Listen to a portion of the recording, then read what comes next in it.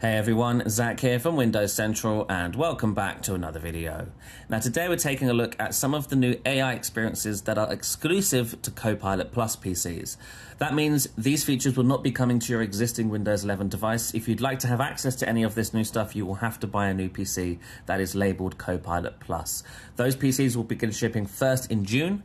Uh, Pre-orders are live now for a number of them, including these new Surface devices. This is a Surface Laptop 7, uh, but we're not looking at the hardware in this video. We're simply looking at the software experiences enabled by the chips in these laptops. So diving straight in, the first big feature here is Recall. Recall is essentially an app that records everything you do. It takes a snapshot of your desktop every three to five seconds and uses AI to triage that into things you can search for using natural language. So you can see along the top here, there's a nice timeline interface and you can click back into any point that you've been using your computer and see what was on screen. And you can use the app to copy text and images from that moment uh, and play, paste it into somewhere else on your current desktop, which is really quite nice. You can also open it into other apps such as Notepad there you can see this nice sort of cursor effect. Along the bottom, we do have the file in question, which if you click on, will open that file up directly, just like so. So you can actually jump into that file and actively edit it versus just seeing a screenshot of it uh, from a few days ago, which is really nice. In addition to that, we also have the ability to hide the screen, screenway, copy snapshot, delete snapshot, and some options, including edit with snipping tools. So if you'd like to go back in time to grab a screenshot that you didn't actually make at the time, you can do that with Recall. We have a search bar at the top here, which will allow you to type in a query of sorts. So if you're looking for something specific, you can type into the Recall app what you're looking for and uh, ideally it will find it. If, if the ai model has been trained on the thing you're searching for if it's an image at least it will find it. If it's a text it should find it just fine. Uh, you can see i typed in costa rica and we now find all of the instances there where costa rica has appeared on my screen at some points. Uh, even if it's things that are related to Costa Rica, so it's not it doesn't have to directly say Costa Rica, but if there's a picture of somewhere that's familiar in Costa Rica that the AI has detected, it will also bring that in as well. And you can see I can now jump into that web page, which is what it picked up from a few days ago. Here's the sort of recall system tray button, which allows you to open the recall app or pause the experience. Recall is entirely optional, so if you don't want to be using a thing that's constantly recording everything you do, you can turn it off. You can turn off the snapshots feature there. Uh, you can also adjust how much storage it uses. It's set to 25 gigs here, but you can set it all the way up to 150 gigabytes. And that's because, you know, if you want it to save months and months worth of screenshots, it's going to start taking up space eventually, so you can customize that. You also set it to delete uh, snapshots after a specific amount of time.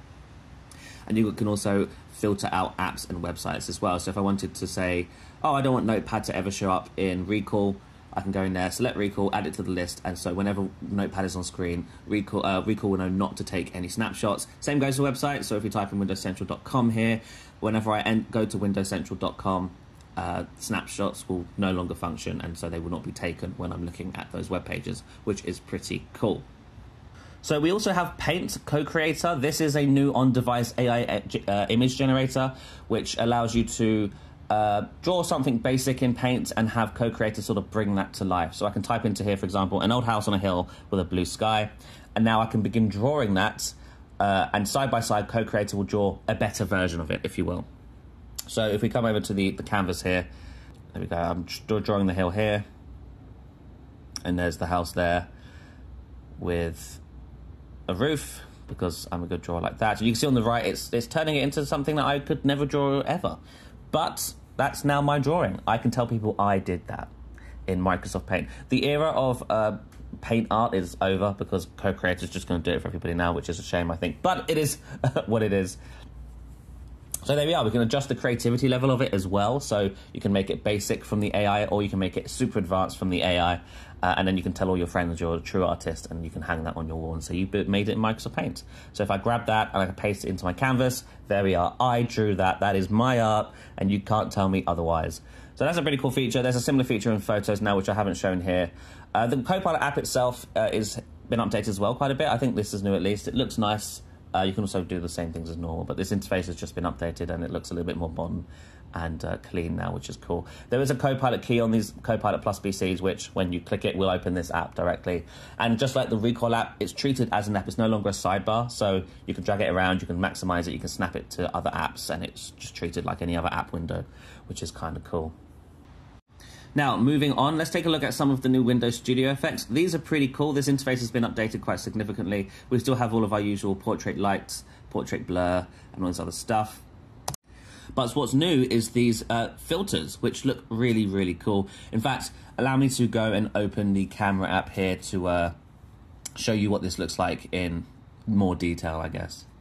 Here I am in the camera app and we're going to open up Windows Studio Effects again. And if we enable these effects, you can see it applies in real time. And so I now look quite nice, I think. Uh, these effects are surprisingly um, impressive. As you can see by my face here, that I'm, I'm, quite impressed by how it's making the, the, hair look there and all this other stuff. And like I said, th this applies directly to the to the webcam video feed, so this works in any app. So whenever you're using your webcam, you can go into Windows Studio Effects here and enable these filters, and that will work whether you're in WhatsApp or Teams or Skype or Zoom or FaceTime if you log into FaceTime calls on your PC.